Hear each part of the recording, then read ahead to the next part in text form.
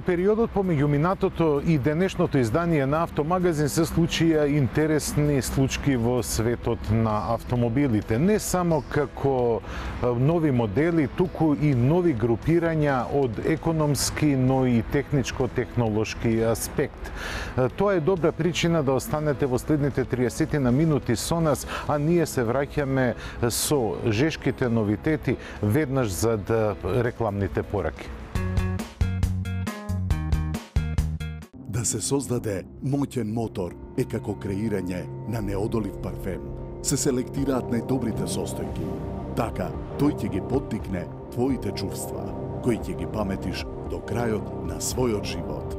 Peugeot 308 со 1.6 Blue HDI мотор за 190 евра месечно.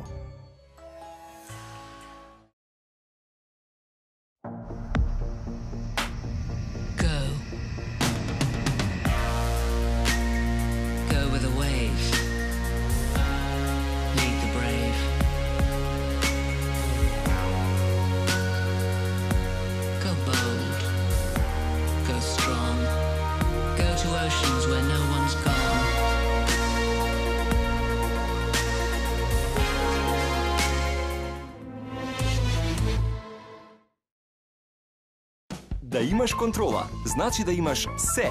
Преземи контрола и одбери Корола. Сега Toyota Corolla бензин за само 13.590 евра или Toyota Corolla дизел за 14.990 евра. Одбираш Корола, одбери и пакет, регистрација и пол резервар или една година каско осигурување или алуминиумски бандажи.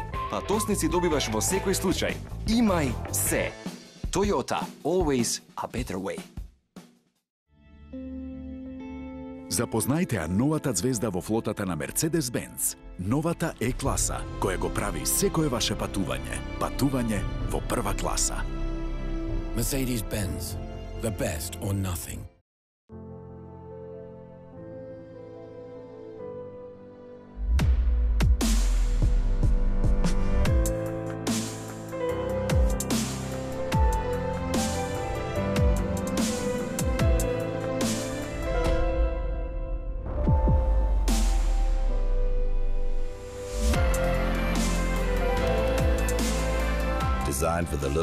Attitude. Mazda 6.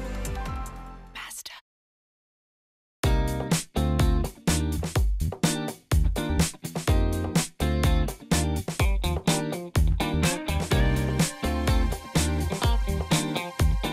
За ситуациите во кои што сте без решение, земете семеен пакет Одличен 7 од Евроинс. Пакетот вклучува домаќинско осигурување, патничко и осигурување од незгода. Одличен 7. Квалитетно осигурување за квалитетен живот.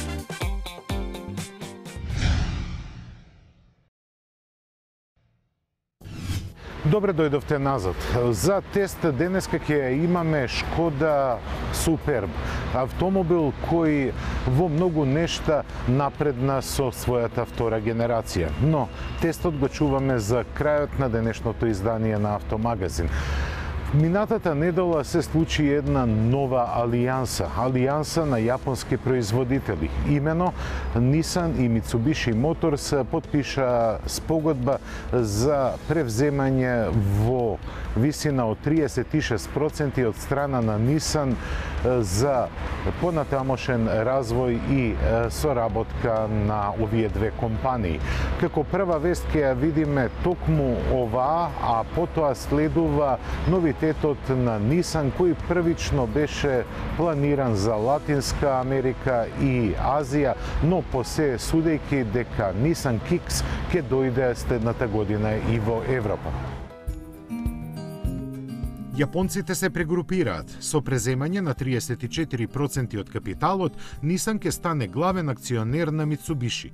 До овој изненаден чекор дојде откако темелите на компанијата беа разнишани и се доведе во прашање на изиниот обстанок. Причината е манипулирањето со потрошувачката на гориво кај некои модели на домашниот пазар, овозможено преку различните методи на тестирање.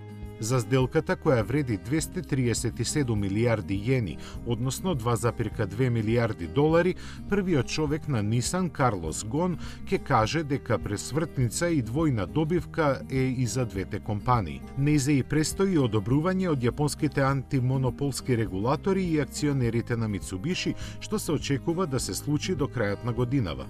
Сдружувањето со стратешката алијанса меѓу двата партнера ќе биде извршена по пат на издавањето на нова емисија акции. За нив Нисан ќе плати цена која е просечна вредност што ја рефлектира состојбата на берзите во периодот што предходеше.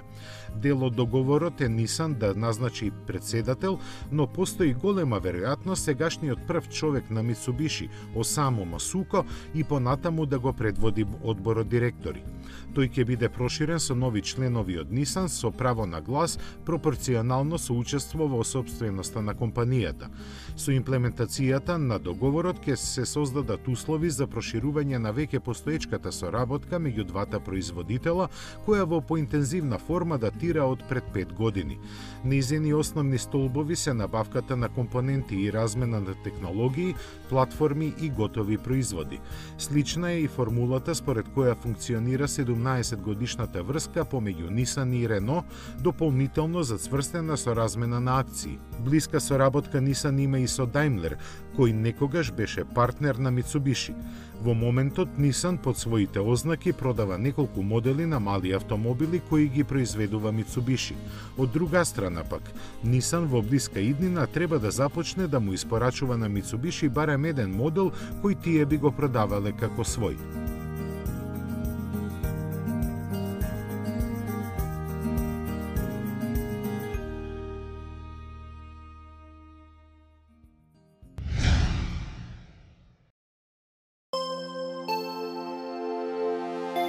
Се прашувавме како Нисан издржа толку време да не представи нов кросовер. Се прашувавме затоа што не знаевме дека Кикс веќе е подготвен да се справи со интензитетот на урбаната джунгла. Кога пред околу година и пол во Сао Пауло беше представен концептот, Нисан не остави на леб и вода. Децидно изјавија дека овој модел ќе биде наменет само за латиноамериканците. Сепак лебот има и своја добра страна. Јапонците се премислија и по својата бразилска премиера Кикс ке тргне во поход низ целиот свет. Малиот кросовер во својата сериска форма задржа голем дел од персоналитетот на концептот.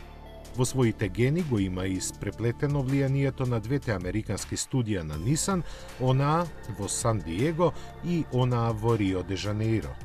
Затоа и доста интересен за британците. Тие во него препознаа производ што со своите квалитети ќе им се вклопи во желбите и можностите. Кикс има дизајн кој се карактеризира со големата маска во облик на буквата В, хоризонталните лед светла и истакнатите арки на тркалата. И покрај ова, тој не е така мускулест како Джук, главно заради затемнетите столбови кои го креираат така наречениот пливачки покрив. Супервизорот на тимот конструктори и шеф на глобалното дизајн студио на Нисан, Широ Накамура, тврди дека тоа е намерно направено. Со него Кикс во исто време изгледа забавно за возење, но и како сериозно возило. Заради тоа и се доживува како да е поблиску до Кашкај отколку до Джук, што дополнително е истакнато со додавањето детали кои оставаат премиум впечатоци. Димензиите сепак му се субкомпактни. Должината му изнесува 4,3 метри, ширината 1,76, а висината 1,6 метри. Тоа го прави подолг од джук за 175 мм, од кои половината отпаѓаат на меѓускенното растојание од 2,61 метри поставен е на платформа од микра, а движечката сила за домашниот бразилски пазар најверојатно би ја добивал од 1,8 литарскиот Flex Fuel мотор, кој би бил спарен со мануелна или цевете трансмисија, додека погонот на сите тркала е неизвесен. Продажбата која ќе му започне во август треба да опфати повеќе од 80 глобални пазари. Карлос Гон лично потврди дека Америка ќе бидат еден од нив, но за Европа не кажа ништо. За подобро да се поднесе почетниот интерес на бразилските купувачи, Кикс најпрво ќе започне да се произведува во фабриката на Нисан во Мексико. Со полн капацитет ќе излегува од погоните на марката во Рио де Жанеиро, а не се знае кога ќе биде организирано производството за другите региони.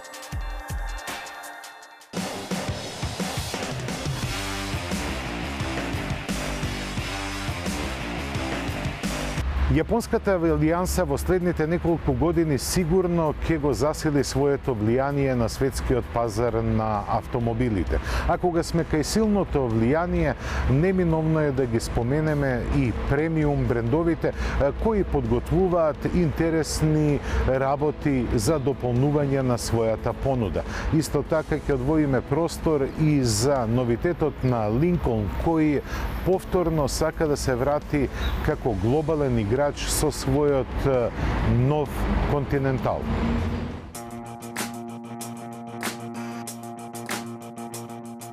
Жежок автомобил, жешка локација. Мајами е место какво што само може да се посака за презентирање на задоволството во возењето под отворено небо посебно ако во рацете го имате управувачот на една зверка како што е Lamborghini Huracan Spider. Во однос на купето, погледите на љубопитните и сончевите зраци ги овозможува електрохидравличниот механизам кој го склопува платнениот покрив за 17 секунди.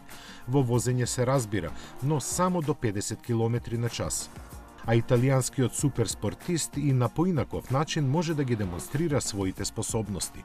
Нив му ги обезбедува филигранскиот 5,2 литарски агрегат. Звукот што тој го произведува дополнително го стимулира задоволството од присуството на коњицата од 610 расни грла. Нивниот галоп низ ексклузивниот амбиент визуелно се дополнува со агресивната и непогрешливо препознатлива појава. Впечатокот што тој го остава е комплетен, дури и кога се знае дека забрзува до стотка за 3,4 секунди и постигнува максимални 324 км на час. Хуракан ја направи 2015-та најуспешна во историјата за V10 моделите на Ламборгини. Испорачаните 2242 примероци се за 70% повеќе од неговиот предходник Галјардо. Но нема само овие бројки да бидат подобрени со лансирањето и на Spider верзијата. Освен со стар стоп системот, од годинава сите варијанти на Huracan се опремуваат и со технологија за исклучување на цилиндрите. Колку и да звучи контрадикторно кога автомобили како овие на Ламборгини се во прашање, сепак природата, каква што на пример е во Мајами, треба да се зачува. Како поинаку и понатаму би можеле да уживаме во возењето под отворено небо.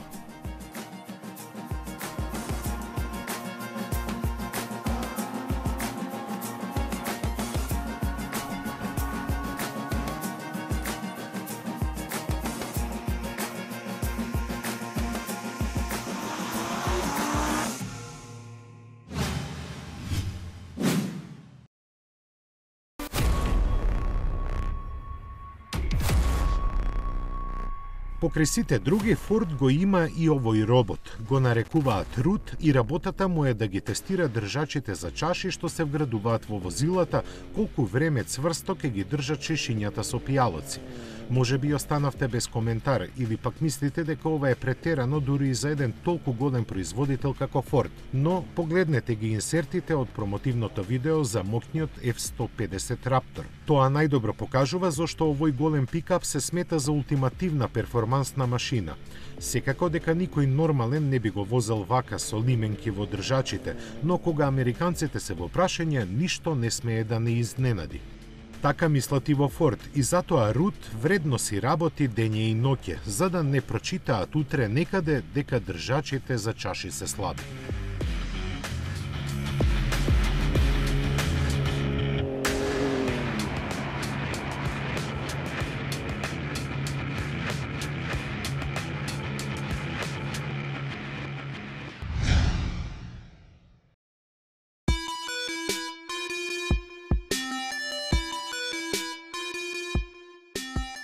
Кога Бентли е во прашање, луксузот да доаѓа во секакви пакувања. Најновото на 4 тркала е Бентайга, а најновото за сите негови собственици е Apple Watch апликацијата. Развиена од самиот производител, со неа може да се контролираат одреден број поставки на возилото. Така, климатизацијата, системот за забава, вентилацијата и функцијата за масажа на седиштата се регулираат со само еден допир на екранот на умниот часовник – Неговиот оперативен систем синхронизиран со возилото со помош на Bluetooth конекција овозможува и приказ на разни информации. На пример, надворешната температура, поминатото растојание, брзината на возењето и слично. Оваа апликација е само една ставка на долгата листа додатоци кои луксузот во технолошки напредното спортско корисно возило го комбинираат на начин како што само Бентли може. Некои од нив сепак не толку иновативни, меѓу нив се среќава и Мулинер Турбилион, механичкиот часовник на Брайтлинг. Направен специјално за Бентайга, тој е достапен со розево или бело злато во бисерна или црна боја. Декориран со 8 диаманти, неговата цена се искачува на неверојатни 150.000 фунти, што е за само 10 помалку од цената на Бентайга.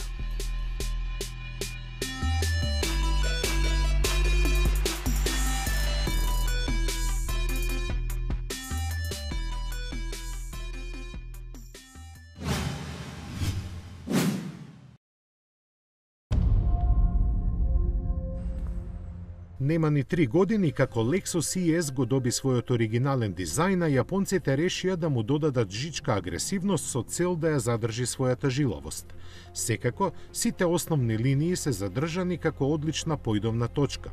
Потребата да се нагласат некои стилски знаци, посебно на предниот дел, е постигната со огромната решетка. Таа изгледа како нападната од две страни, со огромните отвори за воздух. Заради тоа и не се забележува многу дека се редизајнирани и фаровите. Тие сега имаат почист изглед и дневни светла во облик на латинското Л. Сега ова го доведува лицето на ИС во визуелна корелација со останатите модели од гамата на Lexus. Слична е приказната и на задниот дел и во внатрешноста каде со коловото око ќе ги забележи направените измени. Со нив, новиот ИС станува перфектен пример за она што во училиштата за дизајн се нарекува малите нешта прават големи разлики. Затоа и понатаму ИС со својот футуристички уникатен дизајн останува класа за себе.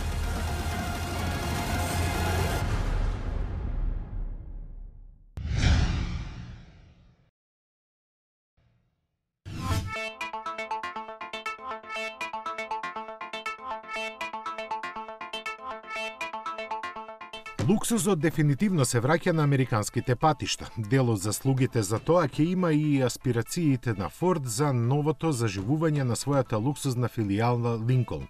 А гледајќи го моделот со славно име Континентал, кој исчезна од автомобилската сцена пред 15 години, тие дефинитивно започнуваат да се остваруваат. И тоа на едно сосема ново ниво, досега од никого недостигнато. Најречит пример за тоа е така наречената технологија за детектирање на собственикот. Имено, кога тој ќе се приближи на околу 2,5 метри, возилото топло го поздравува и му посакува да добре дојде со вклучување на дневните светла и осветлената рачка од вратата со специјален систем за меко отворење и затворење. На местото каде возачот приоѓа се проектира логото на марката, а старт копчето започнува да пулсира и светка пред да биде притиснато. Натрешноста на оваа луксузна лимузина која во продажба ќе се најде есенва е приказна за себе. За расположението на патниците, меѓу другото, се грижи и секвенционалното амбиентално осветлување. Загреваните и вентилирани седишта се подесуваат во 30 насоки, а патниците назад имаат собствени контроли на аудиосистемот и климатизацијата – кожата, вистинското дрво и инсертите од алуминиум не недостасуваат, а бројната електроника која се грижи за комфорот практично е невозможно да се наброи. Затоа само ќе споменеме дека Континентал се опремува и со активен систем за елиминирање на бучавата, а озвучувањето е специјално прилагодено на акустиката во кабината. За погонот на Линколн Континентал ќе бидат заложени три бензински V6 агрегати со 300, 335 и 400 конски сили, Тие преку стандардната 6-степена автоматика ќе ги задвижуваат предните или сите тркала. Стартната цена му е дефинирана на интересни 45.000 долари, а и најскапата изведба на Континентал со сите опции чини околу 75.000 долари. Дека наговестува голем успех сведочи и бројката од 40.000 купувачи кои се заинтересираа за него дури и пред да бидат објавени цените.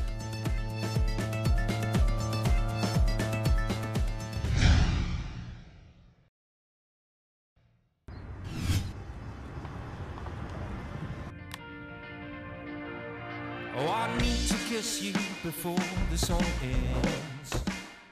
Некои ќе кажат дека не му требаше фейслифтинг и ќе бидат во право, бидејќи Citroen C4 Picasso е стар едва и 3 години. Но французите не сакаа да го остават без свеж див за да се бори со престојната нова генерација на неговиот најлуд конкурент Renault Scenic. Затоа футуристички обликуваниот и најпродаван европски моноволуменец остана да го предводи сегментот испоред убавината. Неговиот напреден дизајн не дозволуваше некои длабоки зафати. Првиот поглед лесно може да ги прескокне корекциите. Новиот преден дел сега му дава посуптилен изглед со повеќе сјај и благо засилена сериозност во настапот. Назад светлата имаат помодерна 3D графика, а силуетата остана непроменета и должината му остана иста 4,44 метри за верзијата со 5 седишта и 16 см повеќе за Grand C4 Picasso, изведбата со 7 седишта. Зафатите и во внатрешноста се козметички и во насока на подобрување и избогатување на опременоста и понудата. Така купувачите сега имаат избор од три различни дизајн пакети. Wild Blues за помладите, Dune Beige за премиум атмосферата и Hype Grey за стелосно доживување како во бизнис класа. Долгиот список сериска и опционална електроника се грижи за релаксирано и безбедно возење кое сега е поекономично со парот нови мотори. И двата се со зафатнено од 1,2 литри. Првиот со 110 конски сили и мануелен, а вториот со со 130 коњи и автоматски 6 степен менувач. Обновениот C4 Picasso ќе се најде на пазарот веќе идниот месец. Од оваа негова генерација која плени со својата неконвенционална форма, Citroen веќе има продадено 300.000 примероци.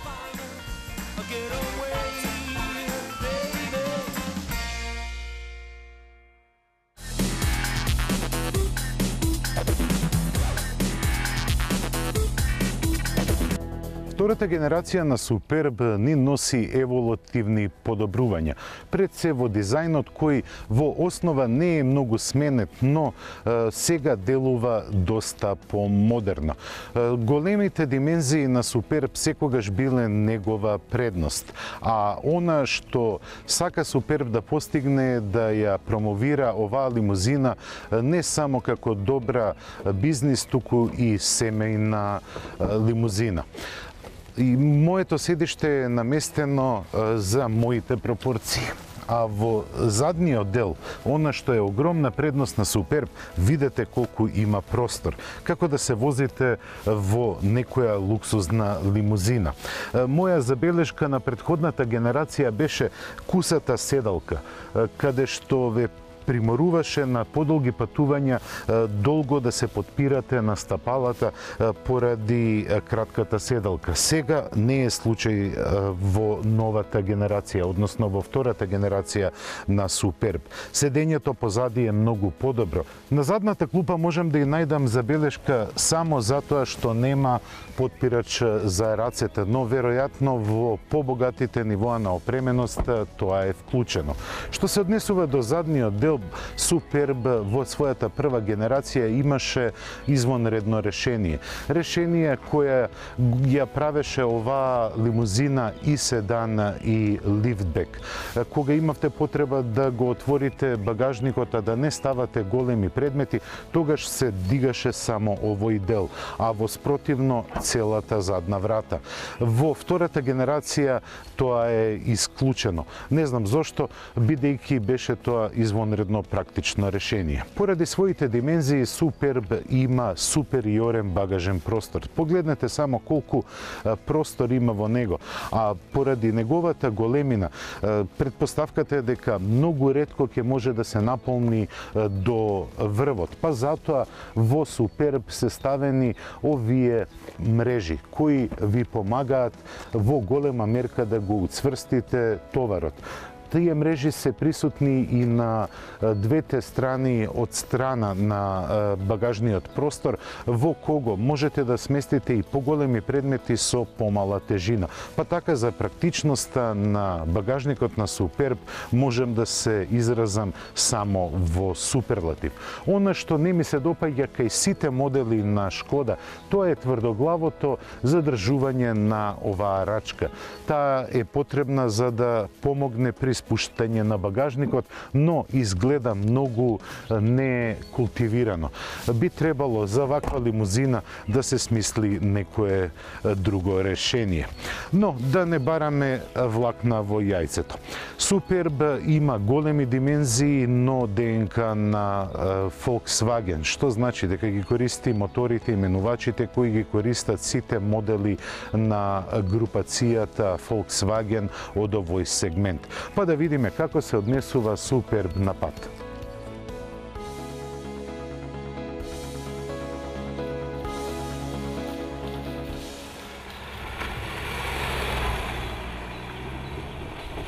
За доправувачот на Шкода Суперб навистина се чувствувам супериорно. Иако пред да ми го додалат овој автомобил на тест, се размислуваа дали да го дадат со ниво на опременост актив, бидејќи не било доволно опремено возилото, и јас тоа морам да го демантирам. Во нивото на опременост актив Шкода Суперб има сосема доволно опрема има кожен волан, убав интериер и се разбира сите оние функциски работи кои го прават возењето многу по-безгрижно. Инаку седиштата се извонредно комотни. Насекаде чувствувате голема просторност и складна димензионираност. Иако оваа лимузина од CD сегментот има големи димензии, таа во внатрешноста ја нема онаа препознатлива робусност за овие лимузини. Напротив, таа е складно димензионирана и ергономијата е на извонредно високо ниво. Сега дискутабилно дали би требало да има монитор во боја или не, но иако е монохроматски мониторот тој не пречи во возењето. Напротив, интериерот делува како да е добро скроен за сите потреби и на подолги патувања. Што се однесува до амортизацијата, Шкода ја има ДНК-та на Volkswagen моделите. Тоа значи дека подпирањето и амортизацијата се малку потврди, но тоа не пречи на удобноста. Напротив, тоа се јавува и како добар показател при возењето, бидејќи иако има големи димензии, супер многу лесно се командува и многу добро лежи на пат. Посебно кога ќе ја возите на пат со свијаци, очувствувате дека Управувачот е прецизен и возилото, иако е долго, на пат на свиоци, многу лесно се управува. Оние типични инерции за долгите лимузини се совладани и делумно поради добрата работа на ESP системот. Што се однесува до звучната изолација, Шкода Суперб малку е поинфериорна. Ги чувствувате и надворешните влијанија, како што се разни звуци, но ќе повторам, тоа е така избалансирано да не ви пречи при возењето ниту во престојот во кабината. Моторот е познат. Дволитрениот TDI агрегат од 150 конски сили многу добро се снаѓа во оваа корелација. Со шестепениот мануелен менувач дава една удобство на возење и голема еластичност. Јас немав многу шанси да ја возам Шкода Супер, па барем не онолку јас толку што сакав но поминав нешто повеќе од 350 километри. За оваа дистанца јас просечно потрошив 5,9 литри на изминати 100 километри, што е извонредно добар показател не само на штедливост, туку и на еколошка оправдливост. Цената на Суперб е добро димензионирана во актив ниво на опременост, каде што јас лично не можев да најдам многу замерки. Оние што ги сакаат помодарските решенија, ке им недостасуваат лед светлата и како што споменав, можеби кожниот интериер и екранот во боја. Но, што се однесува до возењето, Шкода Суперб ја заслужува својата цена. 22.900 евра е сосема прифатлива цена за овие димензии и оваа моторизација. Во групацијата Volkswagen Шкода е рационална марка, па рационална и незината опременост и незината цена ова е сосема оправдлив автомобил, не само поради неговиот изглед, туку и поради неговата функционалност. Со огромниот простор во внатрешноста, како и багажниот простор, овој автомобил не е погоден само за службени употреби.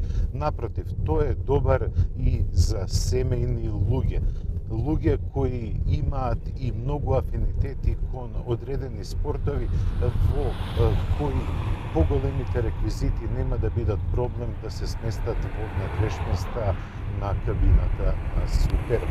Во текот на возењето ние немавме никакви проблеми со Суперб. Тој на вистина се покажа како една зрела и супериорна лимузина. Тоа беше се што подготвивме за ова издание на Автомагазин. Срдечно ве поздравувам и ви за ја закажувам следната средба за 7 дена. До тогаш останете во добро здравје и расположение. Догледај.